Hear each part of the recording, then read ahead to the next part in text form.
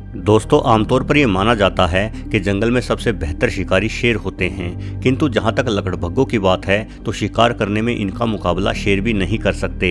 लकड़भग्गे बेहद बुद्धिमान और तेज तर्रार हमलावर होते हैं। हालाँकि जंगल में शेर को सम्मान और लकड़भग्गों को हमेशा ही तिरस्कार मिलता आया है, किंतु यदि अन्य छोटे मांसभक्षियों की नज़र से देखा जाए तो लकड़भग्गे बहुत ही अधिक सम्मान के काबिल जानवर है।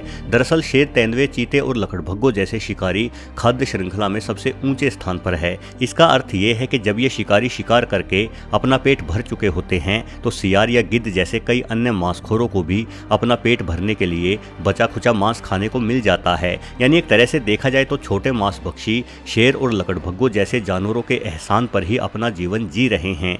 लकड़भग्गे बड़े झुंड बनाकर रहते हैं। अपने झुंड के भोजन की जरूरतों को पूरी करने के लिए ये लगातार शिकार करते हैं। शेरों से भी कई गुना अधिक। इस तरह से देखा जाए तो ये ना सिर्फ़ खुद का, बल्कि अनेकों अन्य जंगली जीवों का भी पेट पाल रहे हैं। जिस तरह से खेतों में कोई किसान ट्रैक्टर चलाकर अपने साथ साथ अन्य लोगों के लिए भी अन्न उत्पादित करता है और सम्मान पाता है, मेरे ख्याल से लकड़भग्गे भी जंगली जीवन के लिहाज से उतने ही सम्मानित जीव होने चाहिए। किंतु अपनी मौका परस्ती की योजनाओं की वजह से लकड़भग्गों की छवि धूर्त शिकारी के तौर पर बनी हुई है। ये माना जाता है कि खुद शिकार करने की बजाय लकड़भग्गे शिकार को किसी दूसरे शिकारी से छीन लेना कहीं अधिक पसंद करते हैं। ये काफ़ी हद तक सच भी है। वास्तव में आपके परिवार में जितने अधिक सदस्य होंगे, उतनी ही अधिक मेहनत आपको उनके भरण पोषण के लिए करनी होगी। किंतु लकड़भग्गों का परिवार इतना बड़ा होता है कि केवल मेहनत से बात नहीं बन पाती, बल्कि इन्हें दूसरे शिकारियों की मेहनत को कब्जाने के लिए भी तैयार रहना पड़ता है।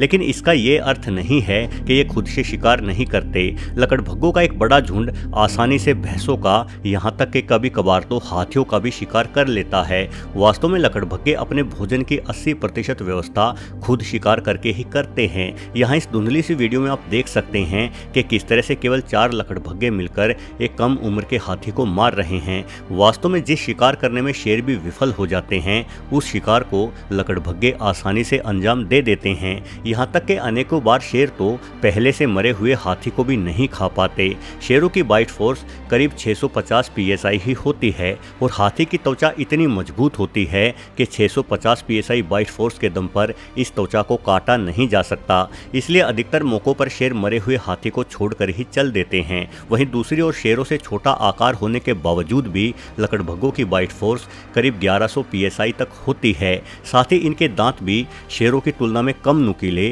किंतु बहुत मज़बूत होते हैं। इसलिए लकड़भग्गे आसानी से हाथियों की त्वचा को कुतर कर मुलायम मांस तक पहुँच जाते हैं। एक हाथी इतना बड़ा जानवर है कि इससे लकड़भग्गों के पूरे झुंड का पेट आसानी से भर जाता है। बाद में लकड़भग्गों द्वारा काटी गई त्वचा वाले हाथी से शेर भी अपना पेट भरते हुए देखे गए हैं। यानी हमेशा लकड़भग्गे ही शेरों पर निर्भर नहीं होते, बल्कि कभी कभार शेरों की भी निर्भरता लकड़भग्गों पर देखी जा सकती है। वैसे जहाँ तक शिकार छीन लेने की बात है तो ऐसी मौका परस्ती भी सिर्फ़ लकड़भग्गों में ही नहीं होती, बल्कि मौका मिलने पर शेर भी लकड़भग्गों से शिकार छीन लेते हैं। सवाना के जंगलों में तो शेर और लकड़भग्गों की स्टडी में एक अनोखी बात पता चली। ये देखा गया कि लकड़भग्गों की शेरों पर निर्भरता की बजाय शेरों की लकड़भग्गों पर निर्भरता कहीं अधिक होती है। बहुत बार शेर लकड़भग्गों द्वारा छोड़े गए मांस को खाकर अपना गुजारा करते हैं, या लकड़भग्गों के छोटे झुंड से शेरों को शिकार छीनते हुए भी अनेकों बार देखा गया है। शेरों के अतिरिक्त लकड़भग्गों का दूसरा सबसे बड़ा दुश्मन तेंदुए को माना जा सकता है।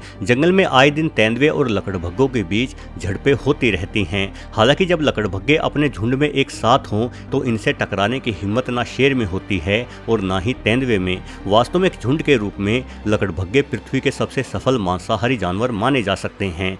दोस्तों, लकड़भग्गों की सफलता का राज इनकी एकजुटता में ही छुपा हुआ है। ये एक आदर्श परिवार का बेहतरीन उदाहरण है। शिकार करने के बाद झुंड के सम्मानित सदस्यों और विशेष तौर पर मादाओं को खाने का हक नरों से पहले मिलता है। यहाँ तक कि गर्भवती मादाओं या अपने बच्चों को दूध पिला रही माँ के भोजन का लकड़भग्गे विशेष तौर से ख्याल रखते हैं। ठीक इसी तरह से सभी लकड़भग्गे मिलकर अपने नन्हे शिशुओं की भी रखवाली करते हैं। ये शेरों की भांति एक दूसरे के बच्चों को नहीं मारते, बल्कि झुंड के सभी बच्चों की जान बचाने के लिए प्रत्येक लकड़भग्गा अपनी जान की बाजी लगाने को तैयार रहता है। नन्हे लकड़भग्गे जब तक डेढ़ साल के नहीं हो जाते, तब तक उन्हें अपने भोजन की कोई चिंता नहीं होती, क्योंकि ये काम उनके झुंड के बड़े सदस्य ही संभालते हैं। इन्हें बैठे बिठाए पौष्टिक भोजन मिल जाता है। मादा लकड़भग्गे से उत्पन्न दूध संसार का सबसे पौष्टिक भोजन माना जा सकता है। इस दूध में पृथ्वी पर पाए जाने वाले किसी भी जानवर के दूध से कहीं अधिक प्रोटीन होता है, जहाँ किसी गाय या भैंस के एक किलोग्राम दूध में सामान्यतः करीब 35 ग्राम ही प्रोटीन होता है। वहीं मादा लकड़भग्गे के एक किलोग्राम दूध में करीब 140 से 150 ग्राम प्रोटीन पाया जाता है। यानी ये दूध एक तरह से बॉडी बिल्डिंग सप्लीमेंट का ही एक रूप माना जा सकता है। आमतौर पर सभी प्रकार के बिल्लियों और कुत्तों की प्रजातियों में जब नन्हे शिशुओं का जन्म होता है तो जन्म के समय से ही वो शिशु अंधे और बहरे होते हैं, किंतु लकड़भग्गों के बच्चे बहुत हद तक विकसित ही पैदा होते हैं। जन्म के समय इनके कान और आँखें खुली रहती हैं, एवं सभी दांत भी पूरी तरह से विकसित होते हैं। मादा लकड़भग्गों का प्रजनन अंग भी नर लकड़भग्गों से ही मिलता जुलता होता है, जिस वजह से इनके लिए शिशु को जन्म देना बहुत ही कष्टदायक रहता है। साथ ही कुत्तों और बिल्ली परिवार के पास जहाँ थनों की संख्या आठ होती है, वहीं लकड़भग्गों के पास सिर्फ़ दो थन ही होते हैं। नरों की तुलना में मादा लकड़भग्गों के शरीर में कहीं अधिक टेस्टेस्टेरोन नामक हार्मोन भी पाया जाता है और मादा नरों की तुलना में कहीं अधिक बड़े आकार की भी होती हैं। शरीर और प्रजनन अंगों में ऐसी विभिन्नता के कारण ही लकड़भग्गों को न कुत्तों के परिवार में गिना जाता है और न ही बिल्लियों के, बल्कि इनके परिवार को हाइनेडाई नाम से एक अलग ही पहचान मिली हुई है। वहीं कुछ वैज्ञानिक लकड़भग्गों को कुत्तों की बजाय बिल्लियों के परिवार के अधिक नज़दीक मानते हैं। वैसे मादा लकड़भग्गा भी आमतौर पर बिल्ली और कुत्तों की ही तरह तीन से चार बच्चों को जन्म देती है। ऐसी परिस्थिति में केवल दो थन होने की वजह से सभी बच्चों को दूध नहीं मिल पाता। इसलिए मादा ये ध्यान रखती है कि किस बच्चे ने दूध पी लिया है और कौन सा बच्चा भूखा है। किंतु अधिकतर मौकों पर दूध न मिल पाने के कारण कुल बच्चों में से सबसे कमज़ोर बच्चा मारा जाता है। बिल्लियों और कुत्तों की तुलना में लकड़भग्गे कहीं अधिक आवाज़ें भी निकाल सकते हैं।